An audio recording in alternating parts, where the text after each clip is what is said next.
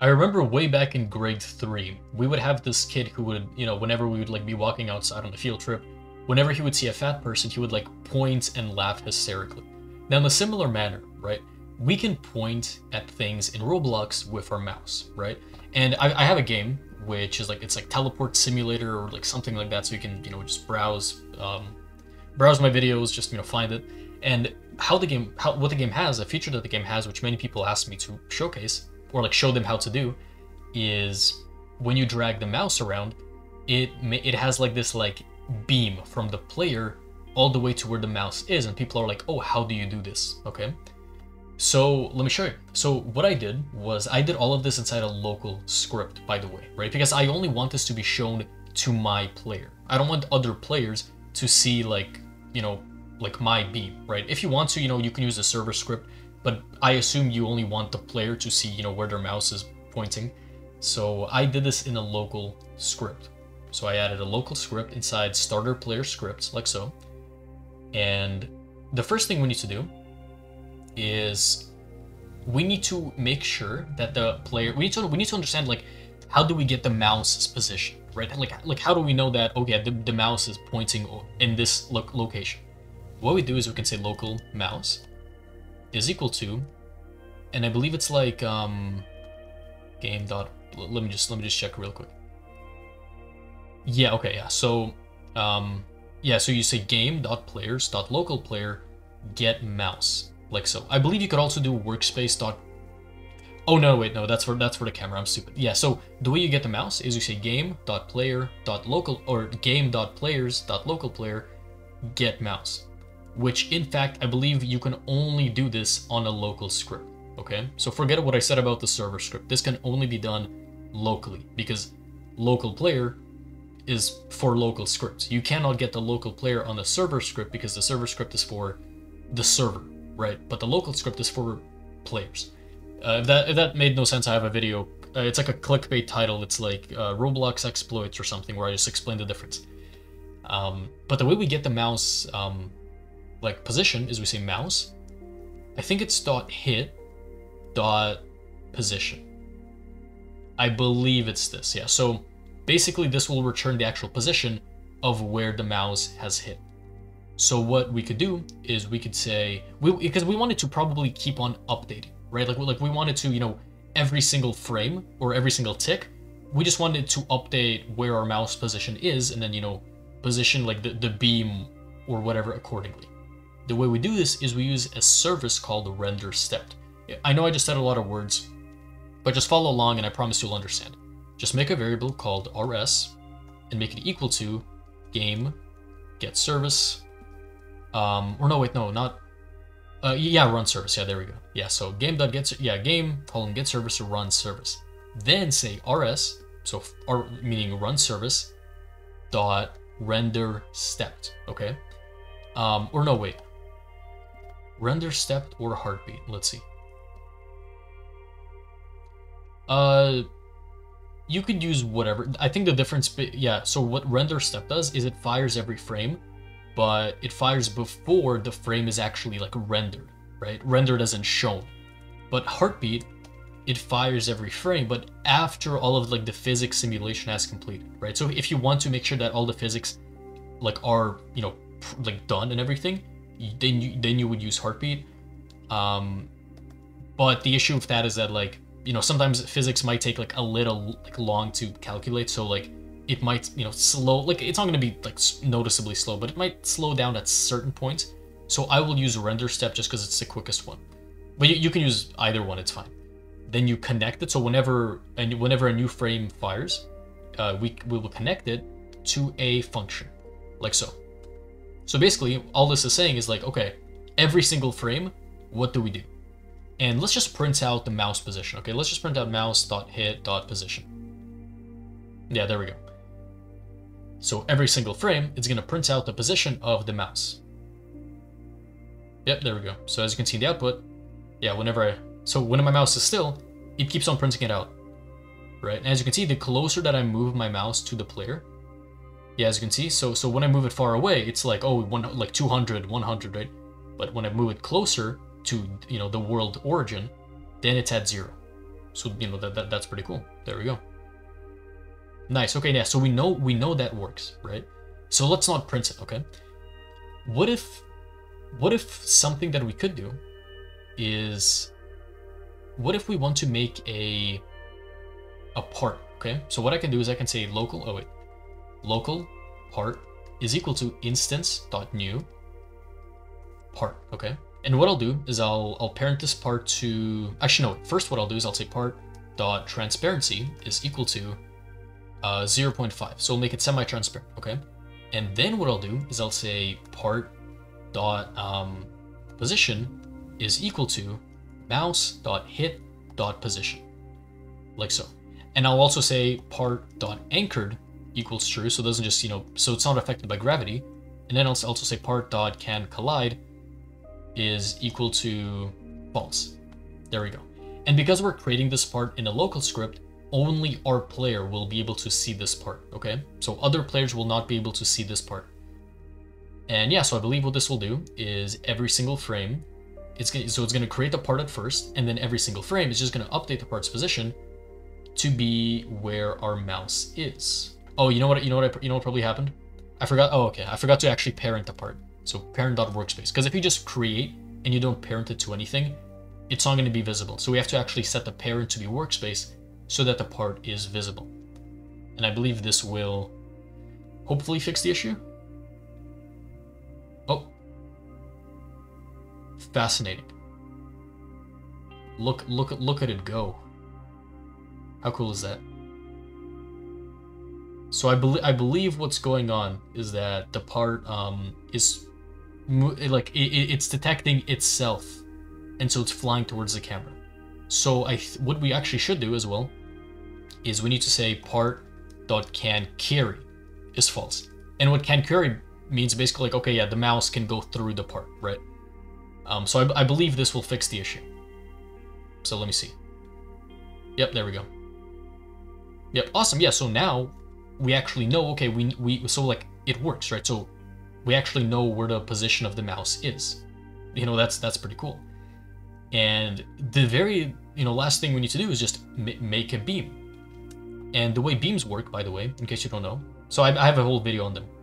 But beams require two attachments. And the way you make attachments is you have two parts. You have an attachment in both, like so.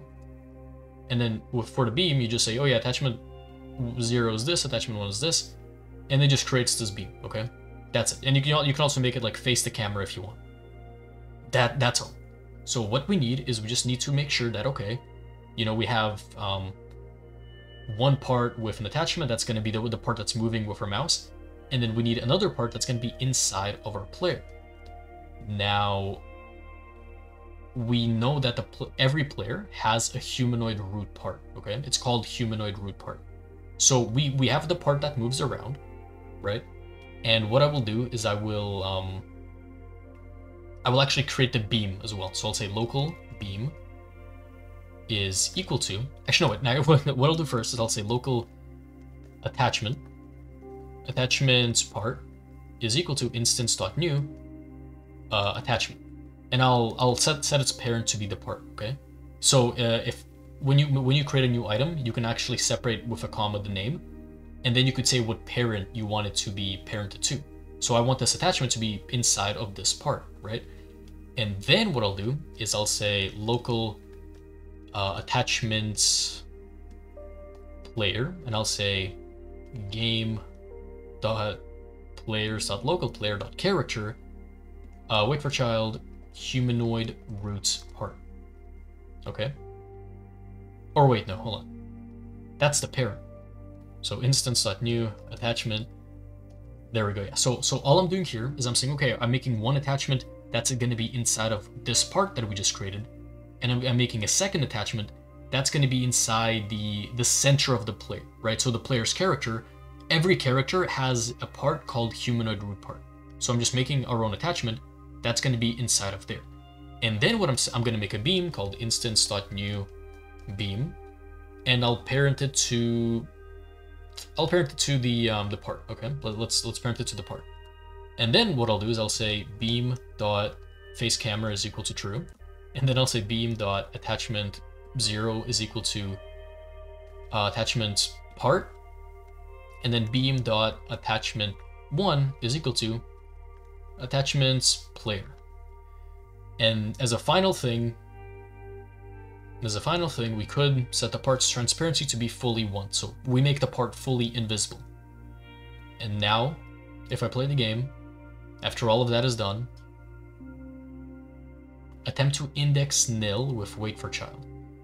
Okay, so what might have happened here is that the um okay, okay, I see. So the the the player's character hasn't loaded yet. So that's why it can't find the um that's why I can't find the humanoid root part. So what I'll actually do is I'll say local character like so is equal to um game dot players dot local player character. Oh wait no no. Dot character added. Wait yeah so basically we're gonna wait until the character is added and then once it's added this variable is going to be equal to the player's character so what I could do is I could just say instead of this line I'll just say character okay so I, I think this will work I'm not too sure but let's see Oh. Oh, my mouse is a little bugged. Yeah, there we go. That's it. We're done. there you go, boys. There, there's your, uh, there's your amazing beam. Yeah, the, the, the mouse sometimes will like freeze because like Roblox is having issues right now, but like, there we go. Yeah, and if you if you want to actually you know make it like an arrow, so like I I had mine be an arrow, right? Um, let me just showcase this as a quick example. Uh, attachment this, attachment this. There we go. If you want it, if you want the beam to be an actual arrow, I would just look up something like arrow, right? Just find, you know, whatever arrow you want. Um, like maybe, maybe, maybe this, I don't know. Copy the asset ID, and then in the beam, just make the texture equal to this. Okay? And then maybe texture, um, texture length you can change as well.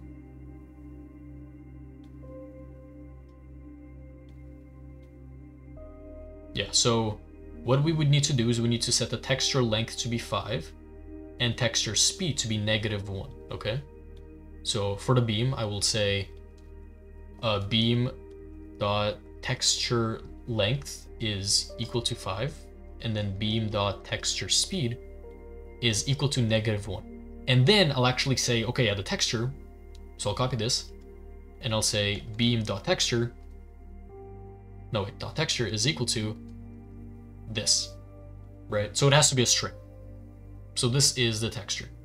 So if I'll if I just oh wait no, what did I do? Okay, if I just delete the beam, delete both both of the parts, and then I run the game right now. So I'll just close the script. If I run the game right now, it should have be an arrow. There we go.